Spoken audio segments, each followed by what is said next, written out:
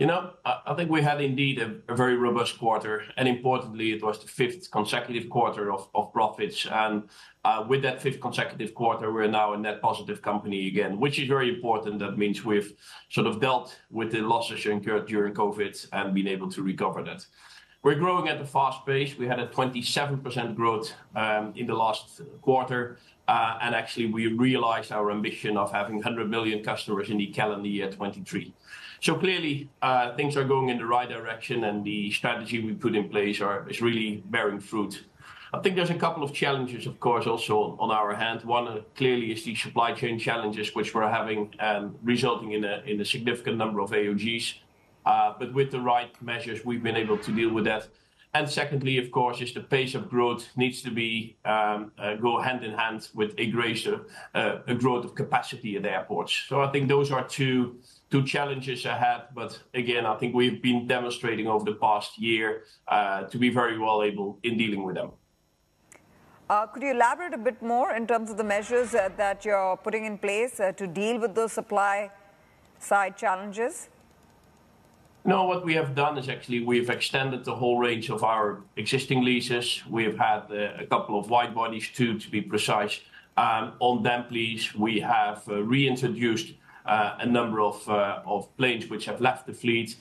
And with all those mitigating measures, actually, we have um, announced earlier that we were to have a capacity guidance for full year fiscal year 2024 in the range of the north of the mid-teens.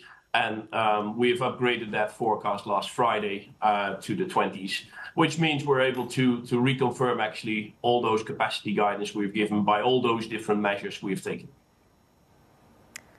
Okay. Uh, talking about your fleet expansion, and obviously given the news at hand, uh, in 2023, Air India and IndiGo ordered 970 planes from Boeing and Airbus. How are you looking at the controversy around Airbus' 737 MAX, and the related variants, uh, in terms of the reputational damage that the company is facing right now?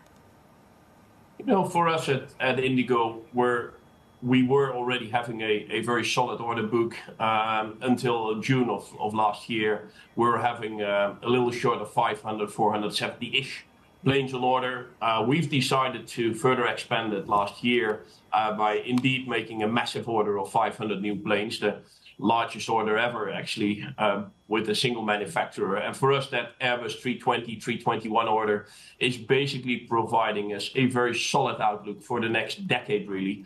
Um, and that means for the years to come, we will getting a new Airbus A320, A321 coming in pretty much each and every week. And with that, we're able to actually, in a very adequate way, address the growing Indian aviation market. And I think the Indian aviation market is still at the at the early stages of where it potentially can be. A growth of uh, of 20% for IndiGo in the last year is is sort of demonstrating that. And this massive order will help us to further build on that potential, the enormous potential really of the Indian aviation market.